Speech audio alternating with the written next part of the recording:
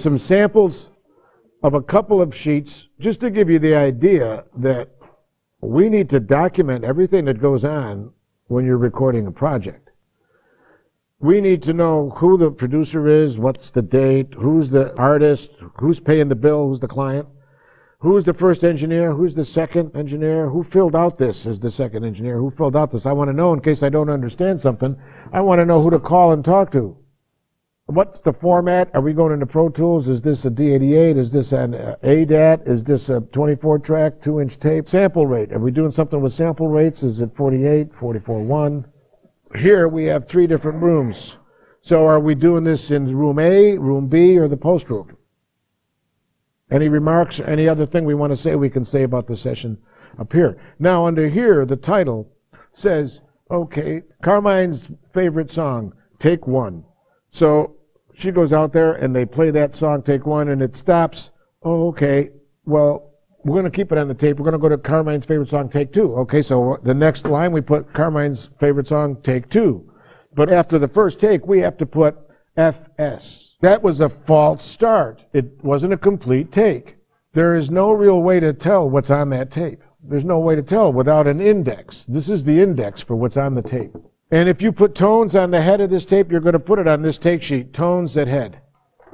1K, 100, and 12K tones. Now, if we were to say, oh, take two didn't work, let's go over take two. Take two never happened because you erased it. I don't want to know what used to be on the tape. I only want to know what is on the tape. So if you've erased something, it never happened as far as this sheet goes. Is there a slate on this tape? Did someone in front of this tape say, this is this song, take one? Oh, they forgot to put the slate on, so they said, that was such and such a song, take one.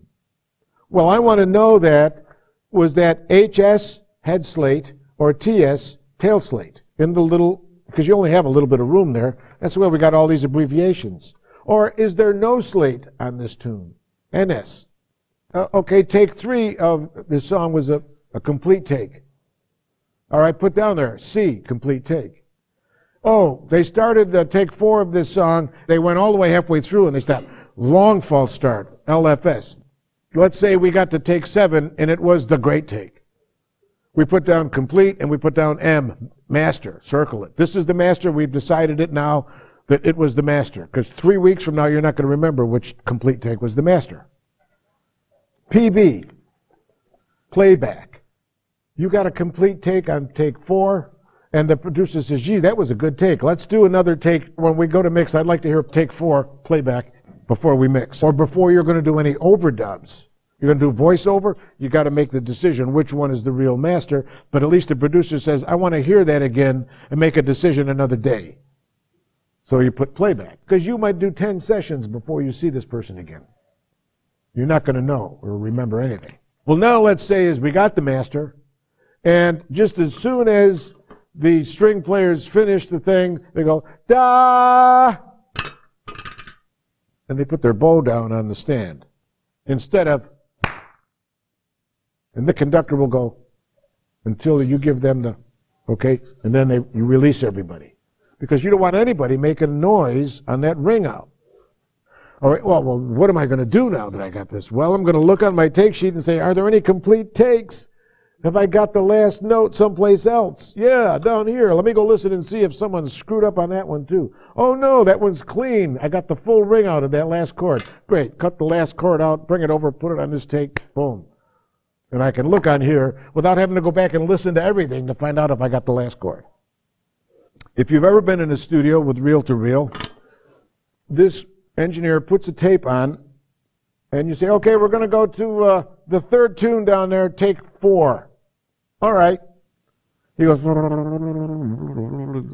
stops the machine, hits play, there you are. Take four, the third song. Did you ever wonder how he got to that point in the middle of the tape where it, there's no marks, no nothing? They do it because of this sheet and because of your long false start, your false start, your complete take information. They put the tape on and it's put on tails out. When they start to rewind to play it, the first piece of music that they hear is going to be at the bottom of this sheet. So then they look at it and they say, is this a, oh, it's a complete tape. So they want to hear go by the heads. You can hear the sound going by the heads and rewind. Now they'll hear a complete take go by, then the next one is a false start. Then a long false start.